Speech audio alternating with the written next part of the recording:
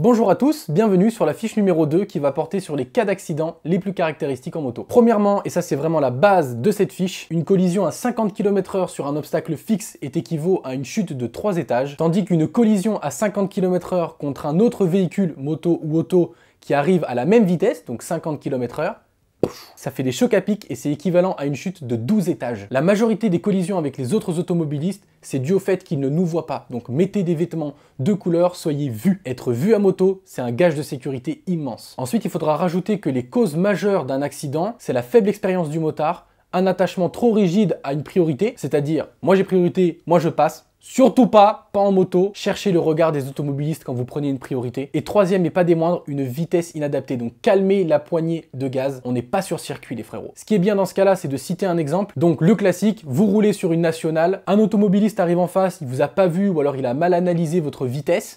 Il décide de changer de direction pour tourner à gauche, et là, pareil, ça fait des chocs à pic. Ensuite, il faudra rajouter que la majorité des accidents en solo, donc qui n'impliquent aucun autre usager moto ou auto, c'est dû à une faible expérience, à une vitesse trop élevée, ah, c'est les deux mêmes qu'avant, et surtout une conduite à risque. Quand on est tout seul en moto, on a tendance à vouloir un petit peu accélérer parce qu'on se dit, bon, ça va, il y a personne. Ouais, mais c'est à ce moment-là où tu vas te retrouver tout seul dans le ravin, frérot. Donc, calme-toi et va sur circuit s'il faut. Là, pareil, c'est bien de citer un exemple. Donc, vous pouvez dire, bah voilà, je suis tout seul en race campagne. Il y a un joli virage. Je me dis, ouais, je vais le prendre. Je vais essayer de poser le genou. Malheureusement pour toi, tes pneus sont trop froids ou alors il y a un manque d'adhérence sur la route parce qu'il y a une petite tache grasse et tu l'as pas vu.